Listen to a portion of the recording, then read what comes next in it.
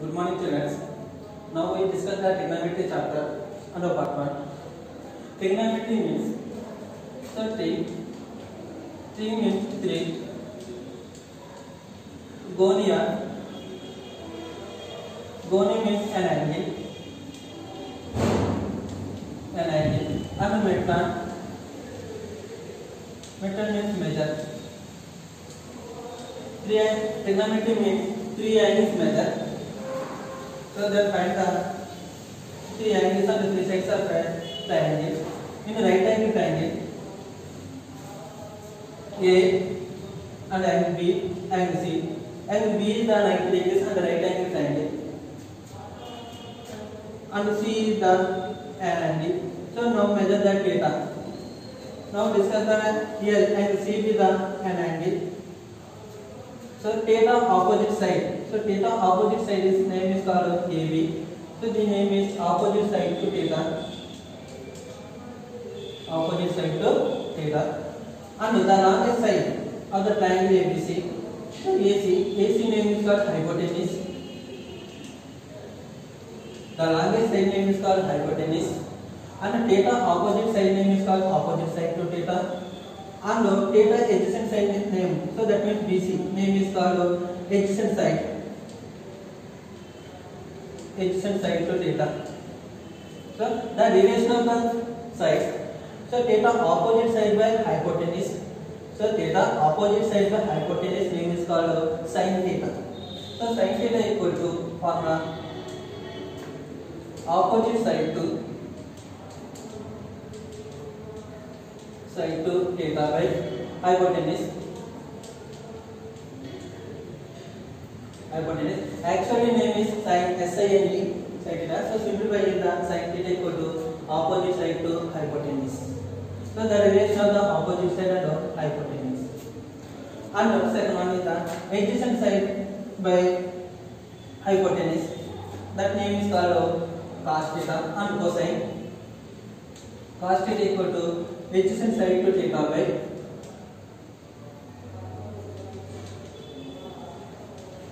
adjacent side to theta by hypotenuse. So the name is called cos theta. And the third one is the tan theta. So our tangent, tan or tangent. So tangent name is called opposite side by adjacent side. Opposite side to theta by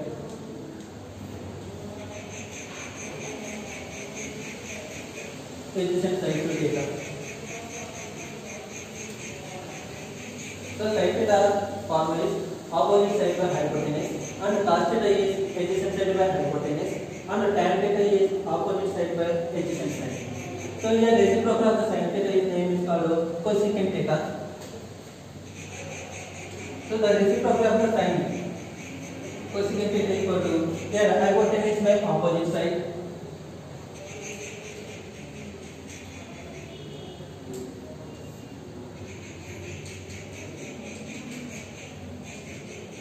opposite side to theta and the reciprocal of the cos theta is secant theta secant theta equal to here hypotenuse by adjacent side to theta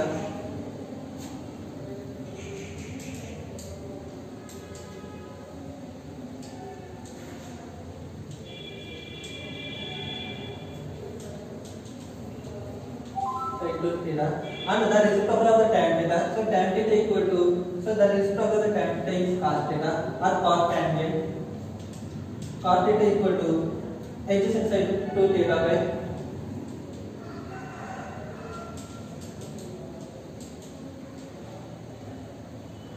adjacent side to theta by opposite side to theta side to theta so sin theta form is opposite side by hypotenuse and cos theta is adjacent side by hypotenuse and tan theta is opposite side by adjacent side. And sin theta reciprocal is cosecant theta. So cosecant theta equal to opposite side by hypotenuse hypotenuse by sorry hypotenuse by opposite side. And secant theta equal to hypotenuse by adjacent side. And cos theta equal to adjacent side by opposite side. In a right triangle triangle 8 centimeters of 15 centimeters, 7 centimeters are the length of AB, BC and CA respectively. So then find out sin A, cos A and tan A. In a right angle triangle ABC, in a right angle triangle ABC, so the length of the sides are AB, BC and CA and AB is the 8 centimeters so and BC is the 15 centimeters so and CA is the 70 centimeters. So then find sin A, cos A and tan A. So sin sin A. So sin A. So A is the tan angle theta. So sin theta formula is opposite side by hypotenuse. So theta opposite side BC by AC. So that is sin A equal to opposite side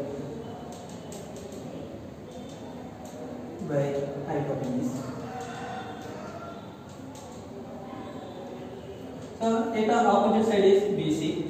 So BC by AC. So BC equal to so BC value 15 by 70. 15 by 70. Next cos A. So cos A. So cos formula is adjacent side by hypotenuse.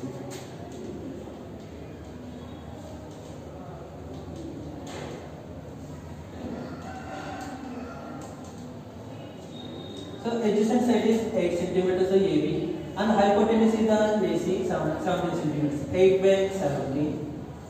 8 by 17. And tan A. So tan A equal to opposite side by adjacent side. So theta opposite side BC by A.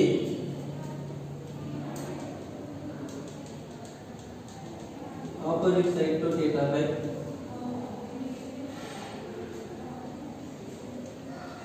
adjacent side to theta. So that means opposite side is 15 by and adjacent side is 8. So 15 by 8. So sin of cos of tan. And second sum, the size of a right angle triangle, the size of a right angle triangle PQR, PQ equal to 7 centimeters, QR equal to 25 centimeters, and NP equal to 90 degrees respectively. So then find tan Q minus tan R. The size of a right angle triangle PQR, in a right angle triangle PQR, an angle, angle P is 90 degrees. So angle P equal to 90 degrees, or remaining are QR. Then and PQ equal to 7 centimeters, 7 centimeters, and QR equal to 25 centimeters. So that find tan Q minus tan R. So on Q angle and uh, then find the the R angle. So tan tan Q and uh, minus tan R. So the relation of the opposite side and the adjacent side and the hypotenuse by Pythagoras theorem in a triangle. In a triangle PQR by Pythagoras theorem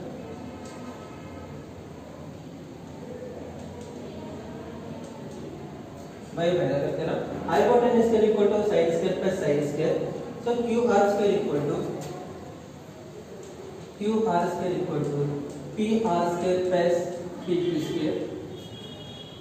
P QR square is 25 square equal to PR square value is not given PR square plus PQ square is 7 square and PR square equal to 25 square minus 7 square equal to 25 25 that's so 625 minus 49 equal to 576. So square root of PR square equal to 576. PR equal to root 576 equal to 24 centimeters. So the value is not 24 centimeters. So then find out tan Q and tan R. So tan Q first one. Yeah, angle is here measurement tan. So tan form is opposite side by hypotenuse. So that means so PR by PQ. PR by PQ. So PR equal to 24 by 7. 24 by 7 tan. And tan R. Tan R. So here R, here theta no. So here theta tan. So tan form is opposite side by adjacent side. So here theta opposite side is PQ. PQ by PR. PQ by PR. So P cube 7 by PR is 27. 7 by 24. So then find the tan Q minus tan R.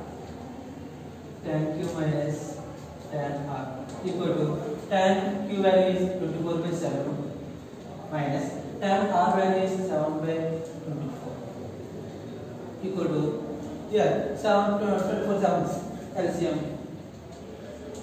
28 2 7 is 14 plus 2 16 168 7 is 168 to 24 times stands so 24 into 24 576 minus here 24 is 7 times 0 so 7 into 7 49 equal to 576 minus 49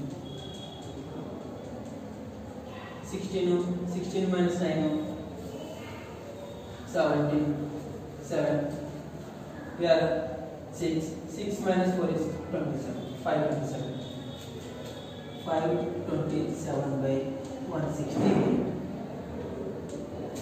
so therefore tan q minus tan r value equal to 527 by 160